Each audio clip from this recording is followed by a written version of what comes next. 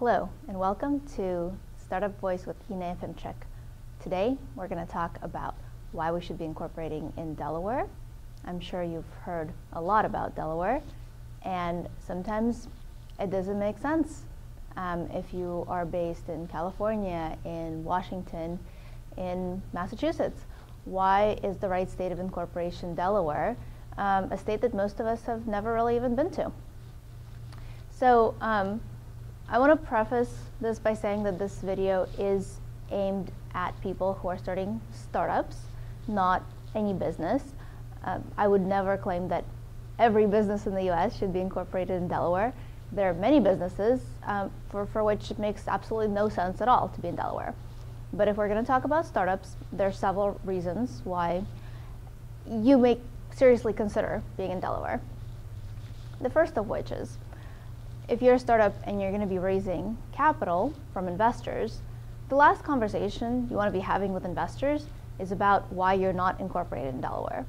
There's a general expectation that a startup should be incorporated in Delaware, rightly or wrongly so. And when investors ask you where your business is incorporated, if you say Delaware, they move on to the next question, maybe find out more about your technology, more about your team, get more involved.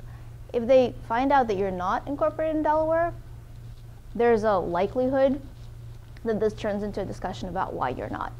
That's not what you want. There are plenty of reasons that investors will find why they don't want to invest in your business. Um, they're always looking for reasons to say no, not reasons to say yes. So why give them another one? Why make it more difficult? Now, why is it that investors think Delaware is so great? Well, I think the honest answer is that a lot of them at this point probably couldn't even tell you why in very specific terms. They're just used to it. Historically, Delaware has um, a good court system that understands business matters. They have a special court designated towards resolving specifically corporate matters. This is called the, the Chancery Court. And uh, a lot of companies historically have incorporated in Delaware. A lot of public companies, which is where venture capital, the venture capital industry, at some point um, came out of. So we have a trend where we had companies incorporated in Delaware, public companies, large companies. Delaware law offers protections against takeovers, things that really large companies often care about. It offers a lot of flexibility for stockholders, for investors. And uh, it, it, makes it, it, it's a state where it's pretty easy to manage your corporate affairs. So that's where it all started.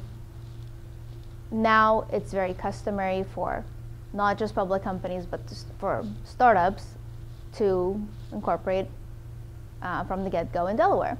Now, if you don't, it's not the end of the world. If investors are truly interested in your business, they will overlook this and they will either invest in you as it, in whatever state that you're incorporated, or they'll make it a condition to their investment that your business reincorporate into Delaware.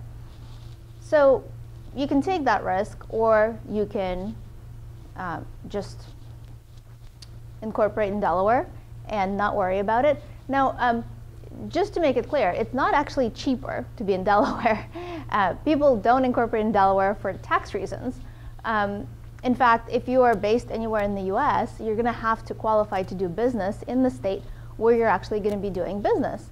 So you'll be paying twice. Um, not necessarily the same amount, but you'll be paying the Delaware franchise tax and you'll be paying the tax to be in the state where you're actually doing business.